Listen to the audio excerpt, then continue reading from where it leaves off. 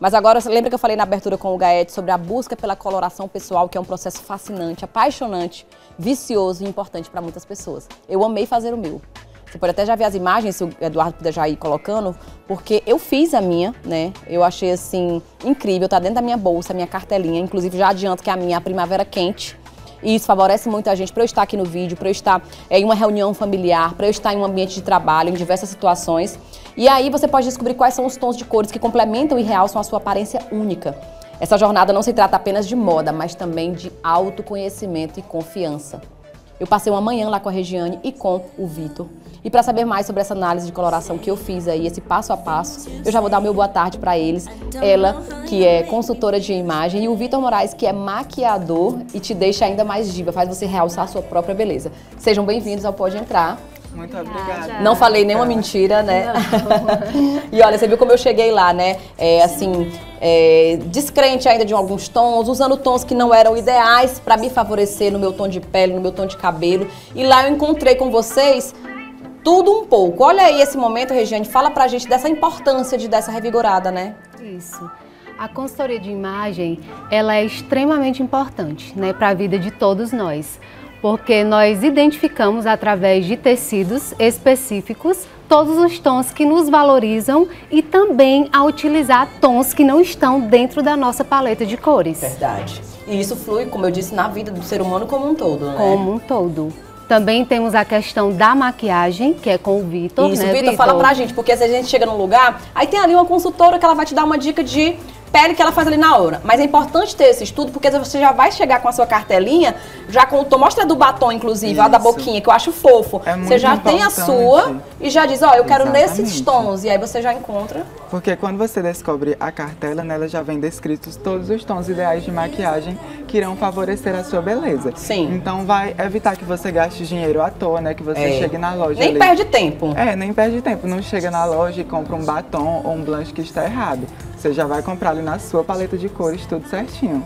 Olha aí, então, para começar, Regiane, a gente vai ver aí que nós chegamos num denominador comum depois de horas de estudo, você comigo, a gente analisando a luz do dia, as cores ideais e que realmente combinam. Então eu cheguei num tom primavera quente, né?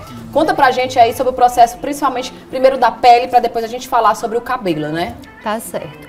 Nós identificamos, em primeiro lugar, o contraste pessoal, que é a harmonia entre pele, olhos, sobrancelha e cabelo. Sim. Depois desse processo, a gente dá início ao TIP, que é a temperatura, a intensidade e a profundidade da cor. Olha aí, tá vendo?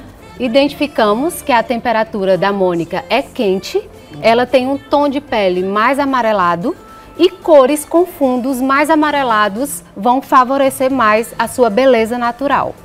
Diferente da Stefânia, por exemplo, que é outra apresentadora da casa, que o tom dela já é, outro. É frio, já a Beatriz Ribas é um outro tom e assim por diante. Então é importante cada uma ter a sua é, cartela, identificar qual é a sua paleta de cores e o melhor de tudo, além deles receberem a gente com um café gostoso e tudo, ainda tem essa possibilidade de você receber o seu dossiê completo. E ainda você pode fechar até pacotes onde você recebe peças por mês que vão favorecer aí a sua cartela, né? Isso, de acordo com o seu tipo, né? Que é a temperatura, a intensidade e a profundidade da cor. Por exemplo, eu tô aqui com o meu dossiê em mãos, vou mostrar pra vocês, né? É, dar aqui esse spoiler do meu dossiê, vocês podem ver a imagem aqui, tá aí já no, ok no tablet pra gente mostrar. Da minha coloração pessoal, onde aqui eu já sei que a minha primavera é quente, Aqui Isso. eu já tenho, inclusive, explicando quais são os tons da paleta. Hum. Aqui ela tem até um estudo da íris, da cor da minha íris, aonde vai favorecer até a tintura que eu vou utilizar no cabelo, se eu quiser um dia abrir umas pontas, uma iluminada. Isso. Olha o tom da pele, tá aqui os meus tons de base, do mesmo jeito que você vai receber o seu, né, aí nas imagens. Ó, o cabelo, por exemplo, os tons quentes e dourados vão ser os que vão reinar pra mim. Pode ir passando aí. Acho que deu uma travadinha lá, mas eu tenho, vou deixar disponível para vocês nos meus stories, mostrando todos os detalhes, ó, gente. Muito bacana. Aqui eu tenho tudo, ó. O tom de pé, de cabelo, né? Se eu for comprar uma coloração e chegar na cabeleireira, eu vou ter todo esse a procedimento, a numeração. Isso. E agora eu quero mostrar, ó, as cores combinação de cor com cor, o que, que eu vou poder utilizar. Vou passar aqui novamente para o Gaet para ele poder tentar renderizar. Enquanto a gente vai ver aí é, as imagens de clientes suas, de vocês, que a gente vai ver a diferença como é gritante. Mostra as fotos aí, Eduardo, do antes e depois, de diversas clientes que passaram por lá Vamos falar desse caso primeiro. Pronto. Esse caso, essa cliente passou um ano Pitando. para conseguir trazer a coloração que eu indiquei. Né? Ela era muito apegada ao loiro. E, e esse loiro, assim, bem vivo. Às né? vezes ele envelhece, né? Com certeza, deixa a pele mais pálida. Né? Você já, já visualiza na segunda imagem a elegância. Sim. Né? A neutralidade, a sofisticação com o cabelo um pouco mais escuro. Uma vez eu fui ficar loira, não deu certo pra mim. E aí eu disse, Regiane, qual é o tom que daria certo pro meu cabelo? A gente fez um estudo lá na hora e você vai ver, tá aqui. Os tons que eu, Mônica, posso utilizar é jamais o que eu tinha utilizado. Eu tinha colocado um louro branco, como foi o caso dela. Isso. E olha os tons que eu posso, tá aqui, ó. É o louro médio, castanho claro, marrom dourado, louro escuro, avermelhado. Isso. Ou esses outros tons no puxando pro acobreado, se for o que eu quiser fazer. E a gente tem a Neide, que é a cabeleireira, que você também indica e Isso, leva e faz toda essa consultoria Já levo, já acompanho a cliente com todo o passo a passo para ficar tudo certinho de acordo com o contraste natural dela. Vamos ver o estudo de mais uma cliente que passou pelas mãos dessa equipe maravilhosa, né? E que inclusive o Vitor já prepara lá na hora a pele e mostra também como é que fica o efeito. Olha essa cliente que era ruiva, o cabelo dela tava bonito, a cor, mas não combinou com a pele não dela. Não combinou, porque um, é um cabelo mais frio e essa cliente tem uma temperatura quente, assim como você. Sim. A diferença é que as cores dela são cores mais intensas. Sim. Ela é uma primavera brilhante. Olha aí. Né? E como ela tem o desejo de ser loira, a gente traz esse tom que é totalmente de acordo com o tipo dela Sim. e que valoriza, realça super a beleza. Olha aí, tá de parabéns. No caso da pele dela, Vitor, o que, que a gente pode falar também em termos de cores? Olha, como a temperatura dela é quente, que é a principal característica, né, para identificar os tons de maquiagem, a base dela sempre tem que ter esse fundinho mais amarelado, né? Uhum. E todos os demais produtos também, o blush, como o teu blush. O teu blush, ele é quente também, né? A tua uhum. cartela é primavera é quente, então o blush é sempre voltado mais pro alaranjado, pro pêssego, o que é totalmente de um blush voltado para uma cartela fria, que já é mais rosado. Olha aí. E agora a gente vai ver mais uma cliente, que é um outro caso também. Inclusive mulheres que muitas vezes, ah, já chegou assim numa idade avançada. Olha aí o caso da, da, da própria Regiane. Gente, como isso. você mudou? Foi isso que te levou para esse mundo ou não? Com certeza. A Olha gente a precisa sempre ver primeiro a nossa mudança, né, Mônica? Olha, pra trazer para as outras pessoas. Essa mulher da foto aí do lado esquerdo, essa aqui que está aqui ao meu lado. Passada, Exatamente. olha só como é importante. E assim, e depois que a gente descobre de a, a, nossa cartela, eu vivo em mudanças constantes. Em mudanças, eu é. sempre trago cores Agora eu trouxe um, uma cor mais outonal para o meu cabelo, uhum. né? Um tom mais escuro com alguns takes aqui por Sim. cima. E é o poder da cartela, né, Mônica? Muito sempre mais. trazer, sempre trazer o que favorece, com, sem gente, medo, né? Exato. A gente tá vendo, Vitor, no caso aí dessa foto, uhum. antes ela usava um blush rosado. Né? Totalmente. Você vê que a maquiagem dela tá toda errada. Toda errada. Olha o batom pink, não tem nada a ver com a cartela dela. Chocada. A sombra prateada. Ou seja, você não existia na vida dela nesse momento. Aí você chegou e mudou tudo, né? Exatamente. Aí agora, olha a diferença. Então já colocou o tom que é ideal pra ela, né? Isso. Com certeza. Você vê aí, ó, os tons todos alaranjadinhos da pele, lábios. Toda harmônica, né? Toda harmônica. De fato. E a gente vai ver aí, é, agora para vocês, como é Gaete? Ao vivo já já.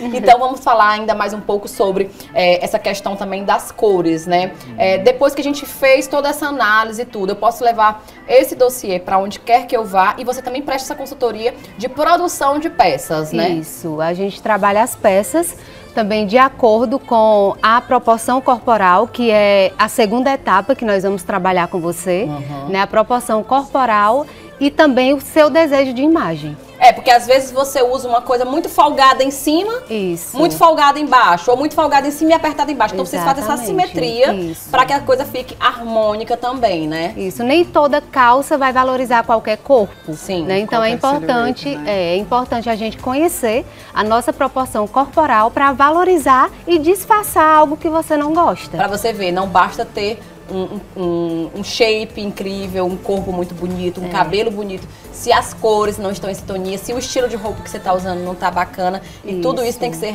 pensado e repensado. Com certeza. Olha aí. Vamos mostrar aqui as redes sociais de vocês e falar um pouco mais do trabalho, inclusive das cores é, com relação à maquiagem, né? Você também presta consultoria com relação a ir comprar. Ah, Vitor, eu fiz aqui a consultoria, mas eu quero que você vá comigo comprar as minhas bases, toda a minha linha ah, de maquiagem. Sim.